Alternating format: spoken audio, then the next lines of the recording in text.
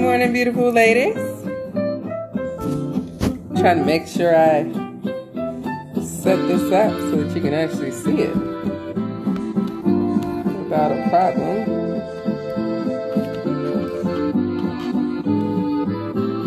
I think that does it. Put myself over here.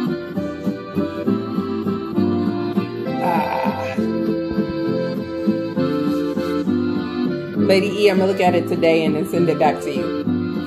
Um, I was so tired last night, I definitely didn't look at anything. But I will look at it today. Trying to wait so I can turn on my recording.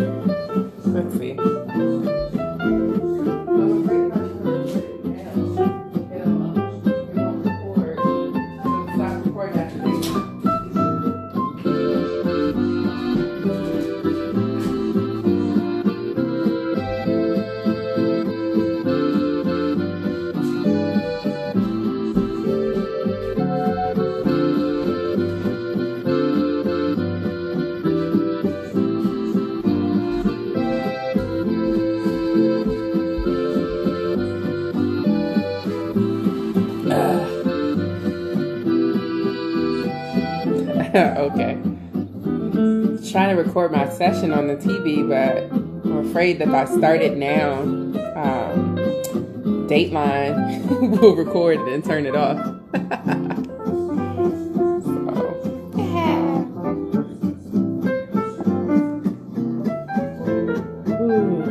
Got my big glass of tea today, man.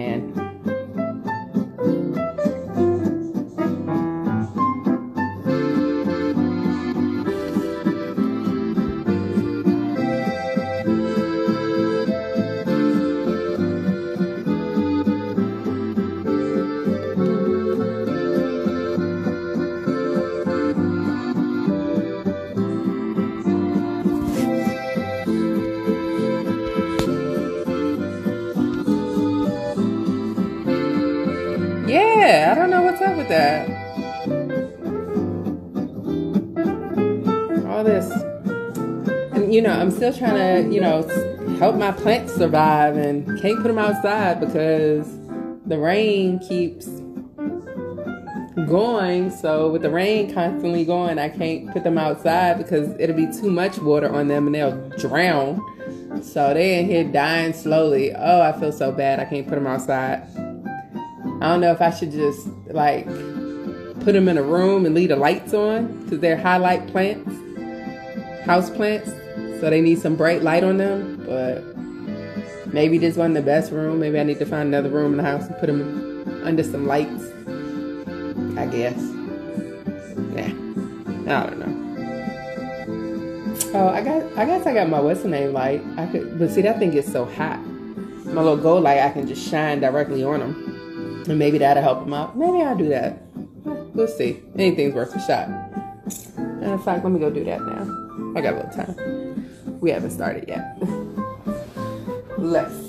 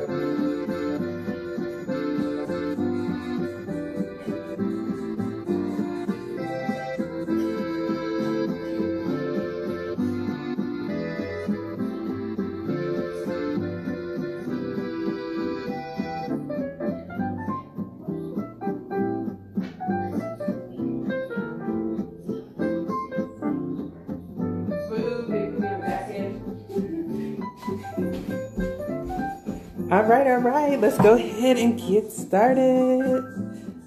Green thumb. No suggestions. I know, man. Morning, Aaliyah. all right, let us. All right, I've started class, woman. all right, we are going to go ahead and get started. Aaliyah, make sure you have your packet for today we are going to pick up and I'm going to record our session since this is 10. So the question for our warm up this morning is we are almost through with this book. Um, we will be finished with this book, like I said, next Friday. So we are at the end of class today. We will have been 70% of the way done. Um, so as we are nearing the end of Brian's journey, what do you predict might happen in the upcoming chapters? What do you predict might happen in the upcoming chapters? Type it in the comments.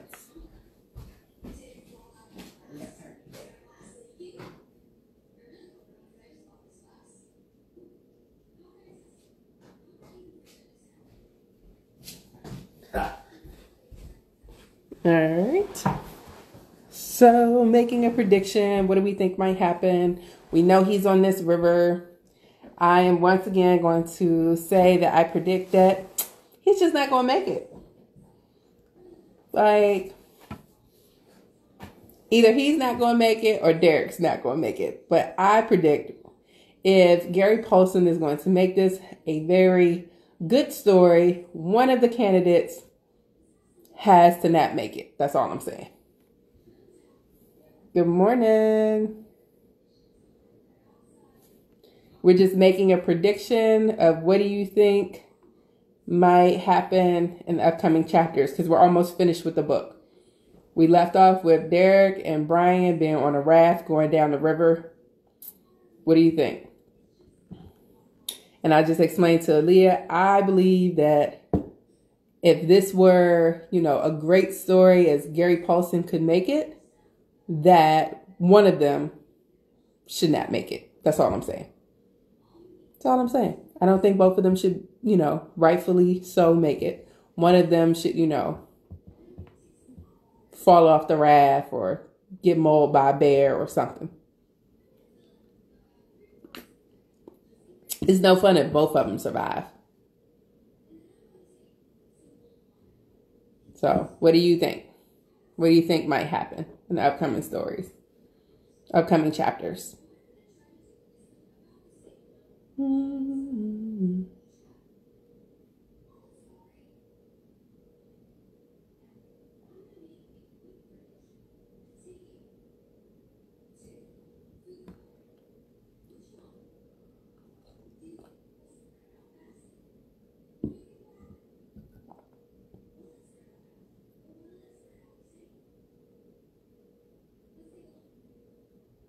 I'll give you about two more minutes to write your prediction in the comment section. And then we are going to move on. Good morning, Torian. Good morning, Jayon. We are just making a prediction what we believe might happen in the upcoming chapters. And I think that one of the characters should die. That's just me.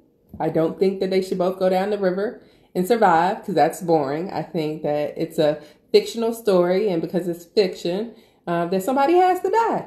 That's all I'm saying.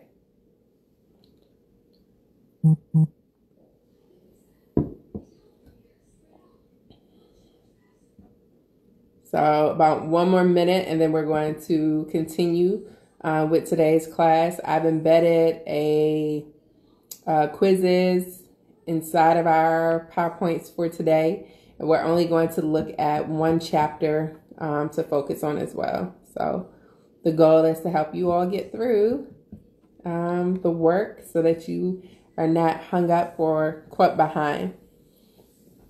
Just as a reminder, if you all have not done so already, make sure you drop your packets off at Ballou um, and pick up your new packets. Um, yesterday, I was I went ahead and put chap packets for weeks four through seven in an envelope, and I'm going to mail those to your houses tomorrow. Um, I'm going to send them out, so you'll probably get them next week, just so you will have the work if you didn't get a chance to pick any of it up. Also, so that you have it for the rest of the semester. Like, I'm going to make sure you have all of the work for the term, so you're not worried about um, constantly looking for it or not having it. So that way you will have it.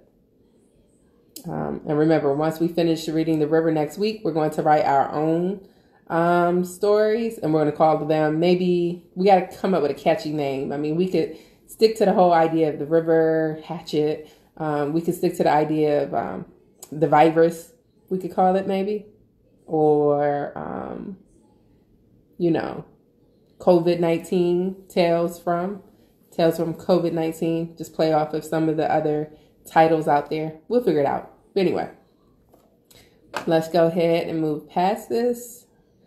Today's packet, once again, we are picking up from chapter 18, so you want to make sure you have it, which is page 6. Keeping up with our schedule for the week, we know that we read 15 and 16 and 17. Um, Thursday is today. We're going to look at 18, and I'll brief you on 19. Tomorrow you have chapter 20, but remember this is already uploaded on the YouTube channel, and I'll upload it after our session today in case you want to finish this off um, that way you won't have any work on Friday. Also want to point out we are doing tutoring 3.30 to 4.30 on Tuesday, Wednesdays, and Thursdays. So this is the last session this week. Um, if you need some help with social studies, English, science, or math, uh, Miss Eastside, Mr. Dutchman, um, and Miss Martin and myself are all available to help you all. Um, so make sure you join us, um, and I'll post it live as a reminder. So anyone is free to join. So this is where we're going to focus our attention today. Reading chapter 18, the question and the vocabulary match. Okay, so continuing our conversation about how the different elements of the story are shaped by the shift in the setting, how the characters respond, and how this ultimately helps the plot to move forward. Okay? So, before we even get started, let's go ahead and jump into a Quizizz. Remember, we jump into the Quizizz and complete it, and then we come back to live, okay? So I wanted to make sure we could have some fun at the beginning before we jump into our work today, and then we come back. So I am also going to pin it. Wait a minute.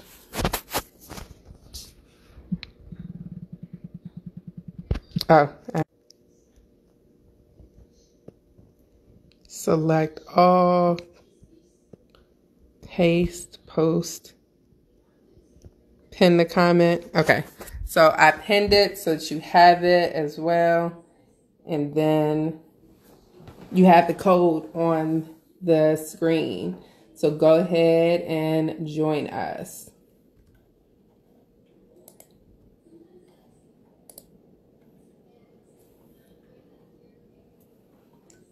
And I will start once we have at least two participants in.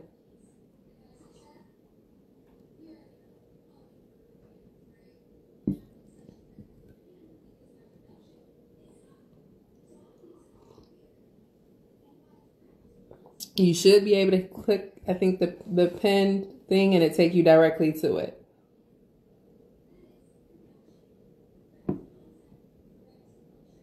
Waiting on you.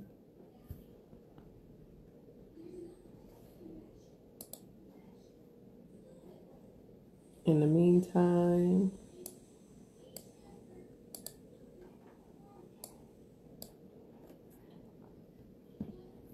waiting, waiting, waiting for my participants.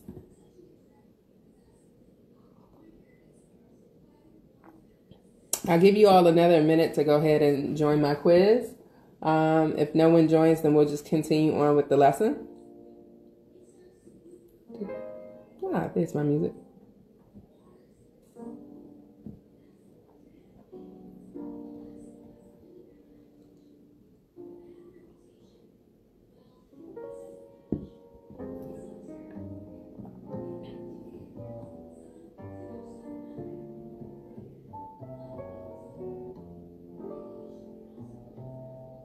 If no one joins during this time, I also just have it saved for the end and we can join then and carry on with the lesson.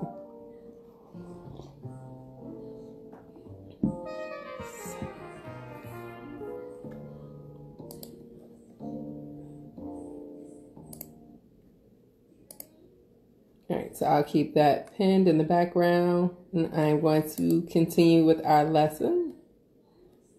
We'll come back to it. All right, so knowing that we have been talking about effective strategies while we read, activating prior knowledge, inferring what is already presented in the text and what we know, and clarifying questions, we're going to go ahead and quickly recap where we are using our story map here.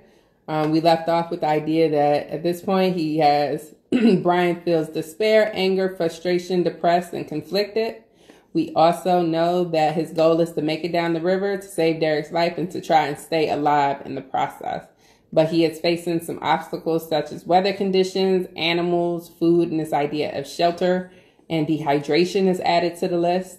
Um, he has to continue to devise new plans as bad things keep happening um, because the radio didn't work um, as well. And this idea that it all started because he wanted to help them figure out survival school, you know, strategies on living. Okay. For those of you that missed last class or just need a refresher, we left off uh, with chapter 16 and 17, in which Brian was devising a plan to build a raft using the wood that was provided by the beavers. And after building the raft, he had to drag Derek's body onto it, and this began their journey down the river. However, he was plagued by the sun and dehydration, so he began to hallucinate about ditching Derek by the wayside of the raft. And directing the raft is not yielding as much distance as he hoped. So Brian is realizing that ditching Derek is a bad idea, and he is his only companion in the end, right? So this is also going to come up again in chapter 18 should we ditch Brian? And you all felt, you know, both ways about that. So we're going to go ahead and pick up on page six at the beginning of chapter 18. And I'm going to go ahead and start our audio. And throughout, I will make sure that we slow it down um, so that we can discuss it. So I think this one too was recorded um, with the others, so it's a bit fast.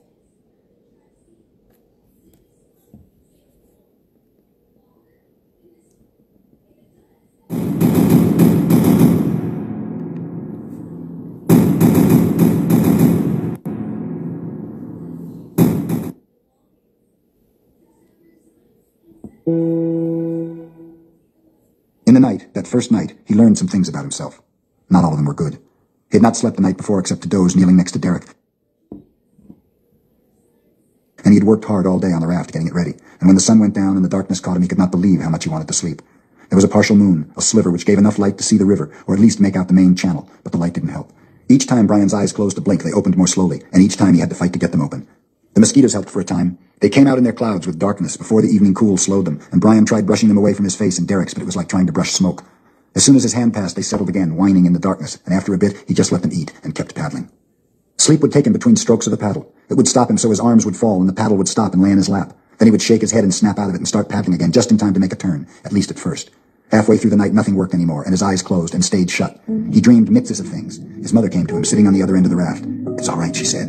You can let go now. It's all right. And her voice was so soft, so gentle and soothing that he wanted to let all of it go, not to be here.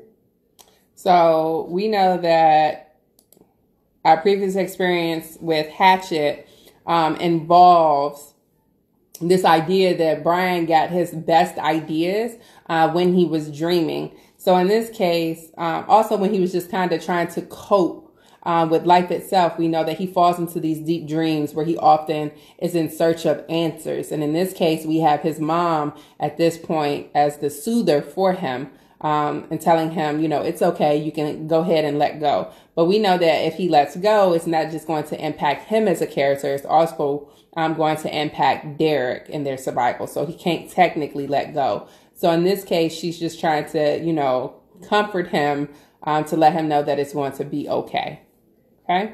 So just kind of want to highlight how the author, Gary Paulsen himself, uses dreams to continue with the narrative um, and with the coping of us kind of having a sneak peek into Brian's mind and his ideas and his way of coping with things. Okay?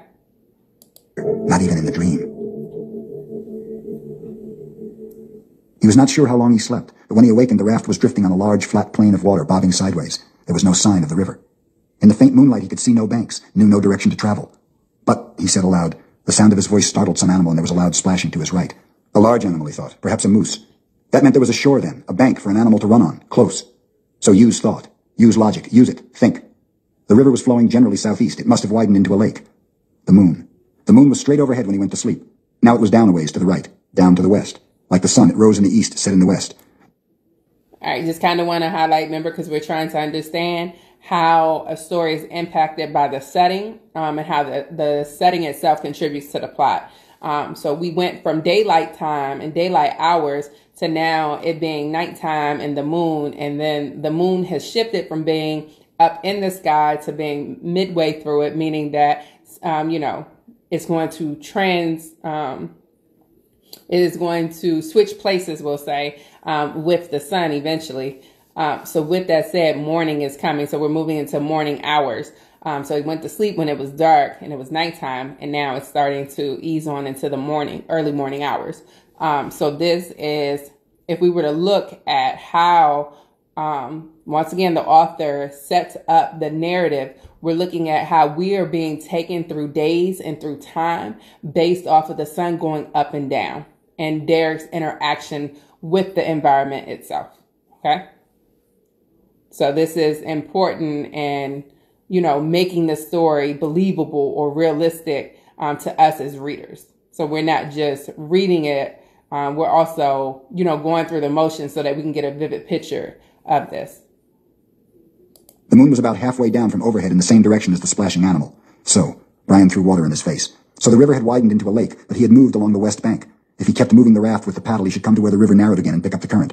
He started paddling, the raft moving sluggishly now that there was no real current. He bore to the right, moving the raft sideways as he paddled until he could just make out the shoreline in the darkness, outlined in the moonlight. Then he straightened and started paddling again, steady, reaching forward with each stroke, bending at the waist, two on the right, two on the left. While the raft followed current well because the logs stuck down into the water and were not streamlined, for the same reason it moved with the paddling horribly. It's like paddling a brush pile, he said to Derek. Nothing seems to move. And in truth, it was very slow. He was not moving more than a mile an hour, and he wished he could read the map in the darkness. He didn't remember this lake or wide place or whatever it was, but if it was two miles long, it would take two full hours at least to cross it. Two on the left, two on the right. He slogged forward, and with the rhythm of the paddling, his brain settled into numbness again, and soon he was in the same trance that had led him to sleep. This time he stayed awake, but the hallucinations grew more and more intense. He saw the raft as a canoe and felt it fly forward with each stroke until he was leaving a wake of fire. Fireway. All right, so I just kind of want to pause here because we're dealing with a lot of um, stressful emotions at this point. We already said that, you know, he goes through anger and that he goes through frustration, and we're seeing the buildup of it um, at the current moment. He can't see, it's nighttime, he can't read the map. He's trying to move. Their raft is not moving. It's moving even slower than it was before, which means they're not covering a lot of distance and they could potentially be lost at this point. And he has no way of correcting it or even knowing if that's the case until pretty much the sun comes up um, and he's able to see where they are and locate themselves on this map. So this is where all that information you all learned in geography class last year comes in handy um, because then you would know how to read a map and understanding the um the ability to locate where you are on the map and where you're going is key here um and it's key to his survival and trying to get there. Um but as we see the other side of this is what happens um biologically with your body itself um, when it's not fed and when you don't get those nutrients. So tying in this idea of what you all have learned in science this year as well, like your body needs certain foods um, and certain nutrients in order for it to keep going, um, in order for it to survive and maintain its stability. So in this case, if he's hallucinating, um, then he could possibly be um, suffering from hunger as well as dehydration. Um, and it could be inadequate sleep as well. Okay.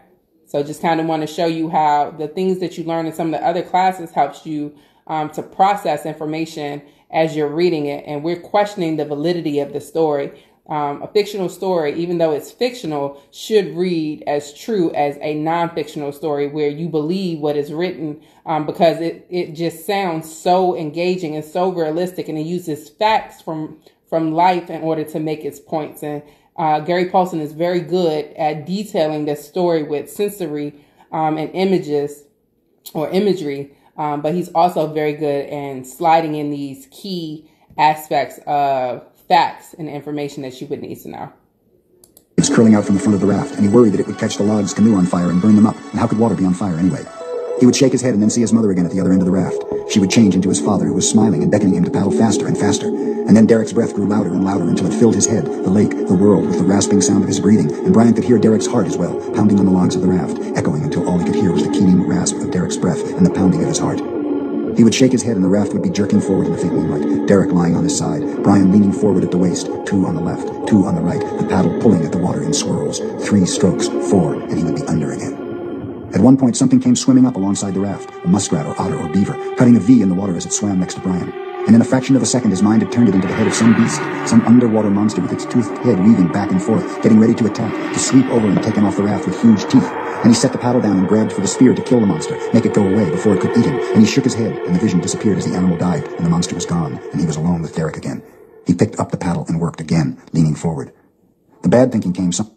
All right, so at this point, he just even started hallucinating about animals attacking him on the raft as he's trying to paddle him and Derek to safety. I mean, you know, at this point, we're seeing that he is literally losing his mind.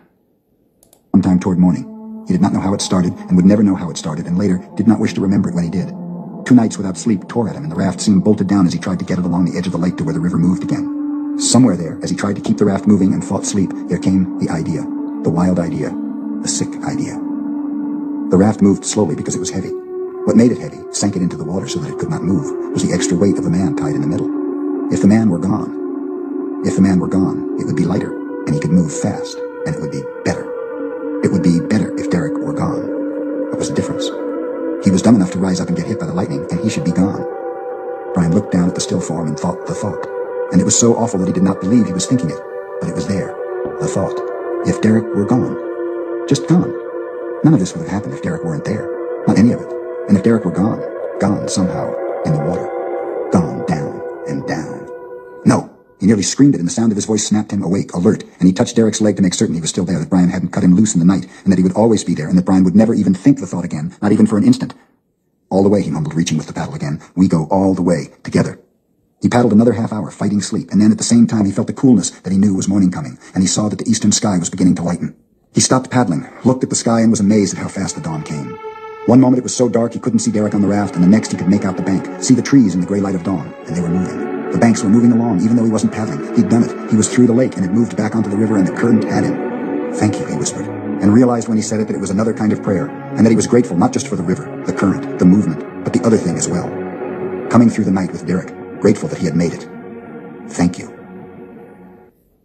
All right, so once again, we know that these hallucinations have played uh, a major um, part in Brian's ability um, to focus on the task at hand as well as question whether Derek should be there with him or not. So let's talk about this. All right. So one of the questions that's inside of your your packet involves this idea of Brian and these hallucinations. Um, so thinking of that, and eventually it'll come up. There we go. Um, clearly, Brian is hallucinating. However, it only seems logical that Brian should ditch Derek. How would getting rid of Derek make Brian's remainder of a journey both easy and difficult? So think about this long term and short term. What are some of the implications? Like, if he got rid of Derek, why would it make his trip easier to get to the to Brenning's um, uh, the tanning post? Why would it make it easier for him to get there? Type your responses or join me. Invite yourself to talk so that we can discuss this. Why would getting rid of Derek, meaning we just kind of roll him off the raft, make it easier for Brian to get to the post?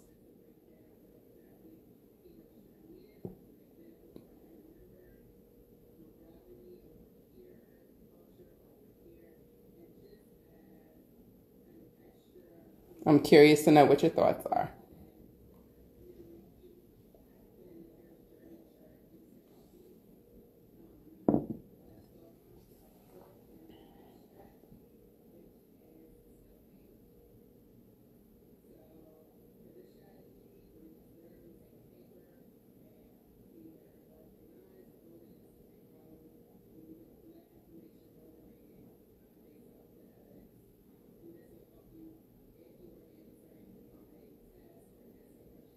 Lose of the weight and his brain back. Yep.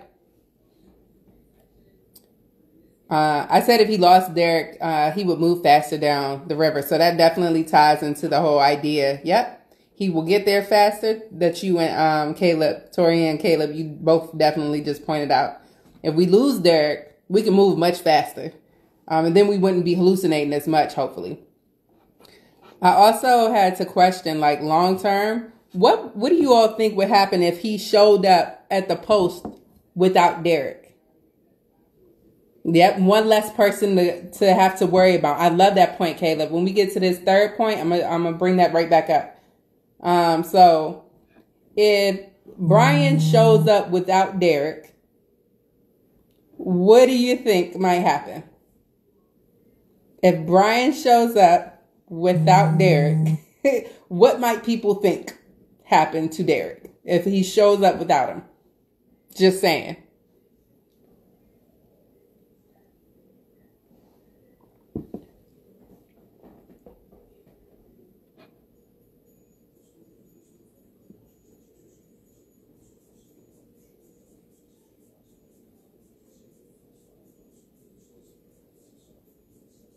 What do you think? Brian shows up without Derek. What might people think?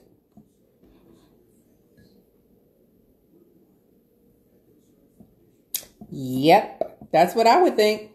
Either he killed them, or he got rid of them, or maybe an animal attacked him, right? So people might assume that Brian killed Derek and he'd have no way to defend himself. He ate him alive and this ties into the previous point you said that he would be on his own again and only accountable for his own survival. And that could be good and bad because we know that Brian, um, you know, goes through these moments where he would prefer to be by himself, but then he's kind of happy he's not by himself. So, you know, if he kind of ditched Derek, he kind of would go back to this whole survival of the fittest, you know, just try to stay alive for myself versus, you know, trying to stay alive and take care of somebody else and keep them alive too. All right. I like you all thinking. Good job. Good job there. All right. So in your packet, um, I think this is on page either seven or eight. You all have these vocabulary antonyms. Okay. So we know that antonyms are the opposites, uh, meaning of words themselves. So you had to draw a line from each word on the left column to the words on the right column. So we're just going to kind of walk through this. So if something is inaccurate, it is it the meaning that it's wrong. Um, precise would be the opposite of it, right? So inaccurate would go to precise. If something is permanent, that means it's not going anywhere. What do you think the word might be from this side of the list? Invalidate, wetness, ambiguous, unchanging, temporary, or conceal. If something is permanent, it's not going anywhere. So, what would be the opposite of this? What would be something that doesn't last very long? What what word uh, could we associate with that? And we're just going to do two of these, and then I'm going to make sure that you have all of them. So, which word from over here do you all think is the opposite of permanent?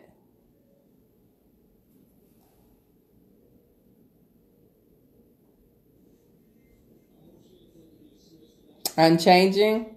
Okay, I can see why you would say that. But if it's unchanging, that means it's permanent. So that would be like a synonym.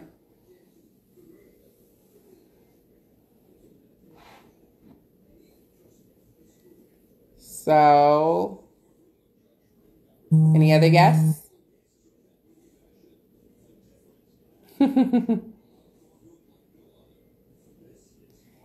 I'm going to say it would be temporary. So when something's temporary, it's not permanent. It's just for a certain period of time.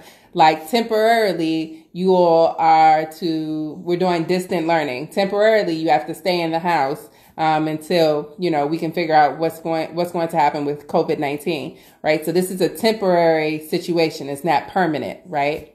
Um, so the next word is to ensure meaning that, you know, if you ensure something is done, then you are making sure of. So if you're unsure, um, then that makes it Uh, insure means you accept it. Um, it's accredited. Invalidate, the opposite. Okay. To expose something is to show it for as it is. So if I'm not exposing something, then I'm concealing it. Right? I'm hiding it. Variables tend to change. So in this case, this is where we would do unchanging. Definite, meaning we know something exactly. Um, like a definite answer is we end school will end on May 29th. Ambiguous would be the opposite. Ambiguity in this case is around when we will return to school uh, for the next school year, right? And lastly, the opposite of dehydration is what? If I'm dehydrated, you know, I need, I'm in need of water, I have a lack of water. So the antonym for this would be what?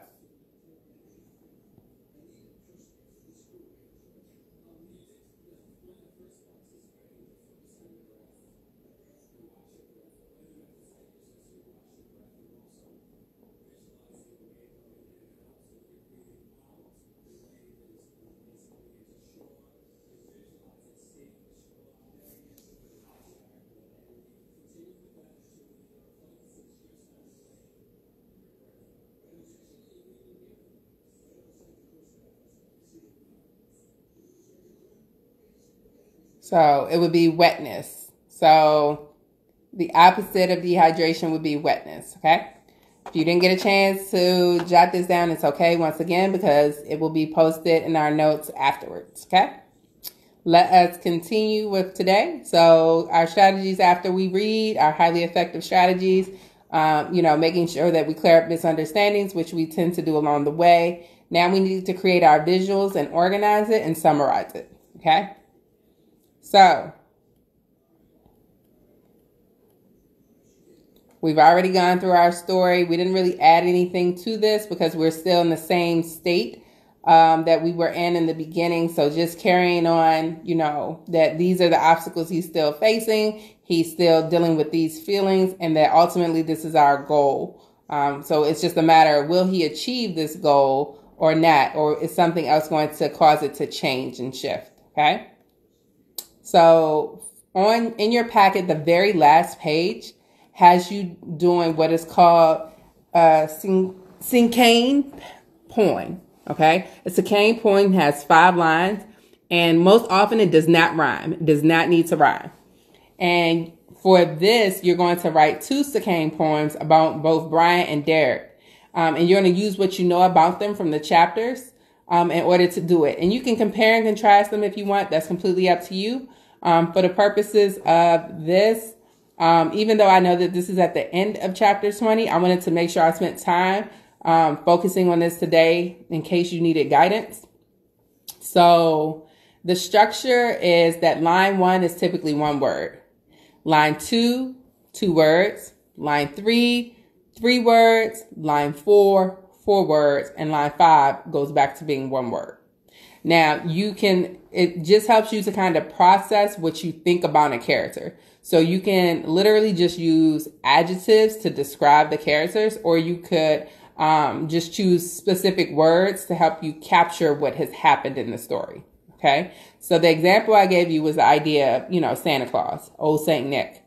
Santa, Saint Nick, long white beard, Christmas Eve, present giver. He's typically jolly right? So if I were trying to figure out, you know, who Santa was, I could just quickly look at this Cinquain poem and realize that, oh, this, you know, this is a quick description of him. So I did an example with Derek, right? We know that Derek is a bit, so for the first line, I would put his name in this case. So one word, I'm going to use Derek. Second line, we use two words. We know that he is a bit naive and that he is the recorder of all the notes um, for this journey that they're on. And we say he's naive because, you know, he allowed Brian to convince him to send all the supplies back. Whereas somebody who was more trained would have probably went back and forth with Brian and said that that wasn't going to be the case. Um, So he's easily manipulated and he's kind of naive to like what's going on. I mean, he should have known better than to reach for a briefcase during a thunderstorm or during lightning, um, in which he could be struck by it. And, you know, it's essentially what happened to him. So I called him the naive recorder. Okay. Line three, when I had to think of three words, I thought of why I called him naive. And I, part of it was that he was struck by lightning. So Derek, naive recorder, struck by lightning right? This helps to give someone a bit of an insight into the type of character he is. Lastly, you have to add in four words, right? So I was just like, okay, well, I know he was naive. I know he was struck by lightning. You know, what else could I add to this to describe, you know, Derek or the situation, um, if I wanted to remember or recall him later on? So I know that he was unable to help Brian, and he was unable to help Brian because he was struck by lightning and he was placed inside this coma. Um, and due to that, my final word and for line five was that he's helpless. Right? So Derek, naive recorder, struck by lightning, unable to help Brian, helpless. So this is just a really quick way to capture, you know, the characters themselves, um, using a different, you know, system to help you just kind of remember who they are. Um, and it doesn't need to rhyme. Um, and it's real simple. You don't need to overthink it when you're processing it. Um, so I just kind of wanted to point that out. Did you all want to try to do Brian together? Or do you want to do that one on your own?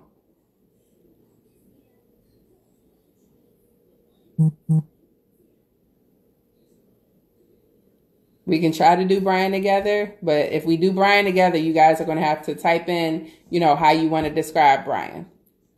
But we can do it together here. Just let me know. Either give me a thumbs up or say yes or no. if not, we're going to move on to summary.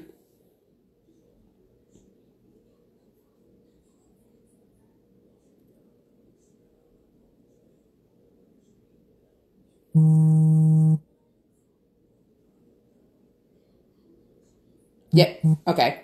So I'm going to take it out of that mode so we can actually go onto the page. I will put Brian and green. So just give me a second. I wasn't sure if you all wanted to. I was going to set it up, but I didn't want to do that unless we were sure you all wanted to. All right. So Remember, if you're doing this in your packet and it's okay if you copy, you know, what we put up here on the screen, I don't mind because we are working on this together. And when I go to give you credit for your work, it just lets me know that, you know, we did it together, um, that you were following along. So I will still give you credit, um, as this for your own. You don't need to do it separate. All right. So our first word we're going to do, we'll just do Brian. Okay. I'm to put myself over here. All right. So knowing that we're going to do what are two words that we could put for Brian? How would you describe Brian in two words or two things? What two words do you all want to use for Brian to help us describe Brian?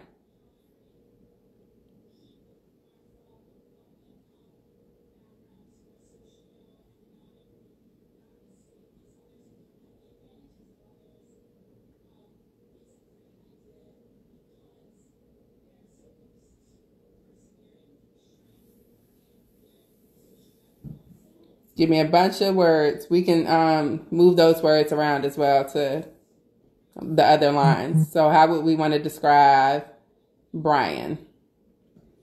I know one word I would use is handy. It's pretty handy. What's another word we could use?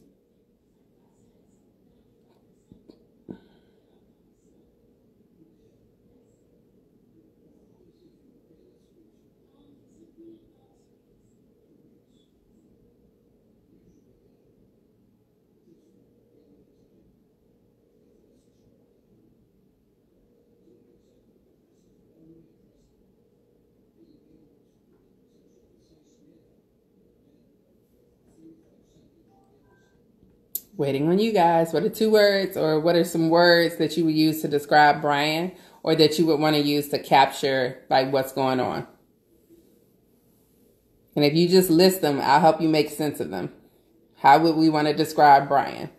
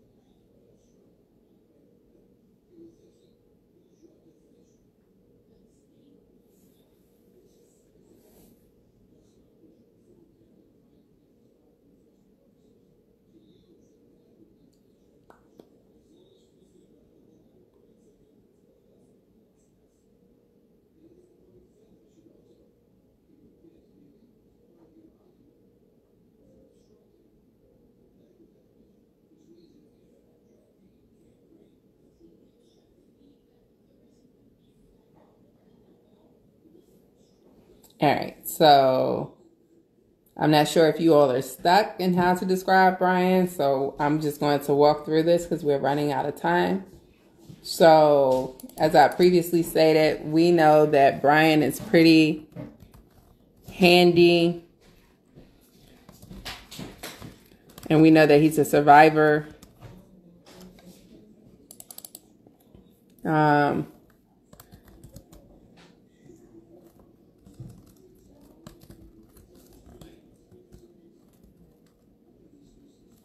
Um, down here, we know that he does whatever it takes.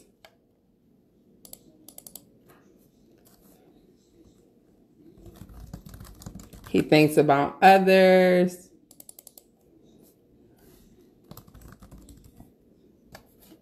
And that he's fearless. So remember, not it doesn't have to rhyme. It's just this idea that um, we're just putting together some of the attributes or character traits that we know um, about Brian of things that have happened to him um, or things that he has represented over the over the course of the story itself.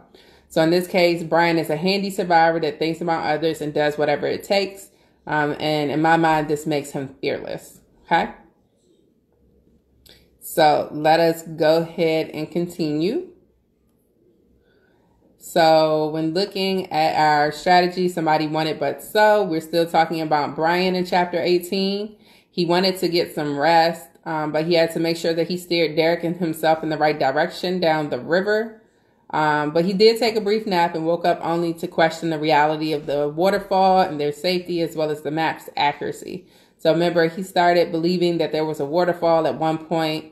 Um, another is he's starting to question whether they're even going in the right direction. So, in chapter 18 of the novel, Brian is exhausted and finds it nearly impossible to fight sleep. He eventually falls asleep for a short time, and when he wakes, he finds that they are steering from um, the correct path, so they're going in the wrong direction. He comes to the conclusion that the might the map might not be as accurate as he once assumed. So he put all his faith and trust in the map. And at this point, and in chapter 19, which we're not reading, we're going to kind of skip over. He kind of questions whether they're going in the right direction and what he needs to do in order to get them back on the right path. Okay. So for today, we read chapter 18 and I just briefly mentioned 19. Um, we were able to answer the questions that were in chapter 18 as well as to do the Cinquain poem that is in at the end of your work packet. Um, so it's at the end of chapter 20, but you can do it at any point. Um, we added to our visual map and we were able to write a summary for chapter 18. All notes will be posted after our session today. Um, just keeping in mind that at this point. Today is Thursday. We just finished up antonyms for your vocabulary match and answered the question as it related to chapter 18. You need to make sure that you read chapter 20 and answer the true false questions and finish up your Cinquain poems for Derek and Brian. Okay? Those are your next steps. Tuesday, we will pick up from where we left off. Pretty much next week, we will be finishing up the book and the readings. Um, so we will pick up from chapter 21 on Monday, and I will make sure that I post a reading for you. Um, and Tuesday, we will go about discussing that reading. Okay. So that is all that I have for you today. Make sure that you turn in your work and drop off your packets at Ballou so that you receive credit. Um, if you are curious about your grade, Um, for the end of term three, you may text, uh, you may DM me or text me on Wednesday of next week, or I'll, I'll mention again on our Tuesday session. I should have your grades by Tuesday um, if you drop off your packets. So if you text me by or DM me by Tuesday after our session, I will let you know what your grade is in the class for term three. And, you know, term four, we are currently in. So any work that you do for term four will contribute to your grade. Um, so that is where we are. Are there any questions before we wrap up today? Hello, Cheyenne. It's good to see you, honey bunny. All right, it is 1046, and I will assume there are no more further questions for today's class. I will post our notes and make sure that if you need extra assistance that you find us for tutoring, guys. Enjoy the rest of your day.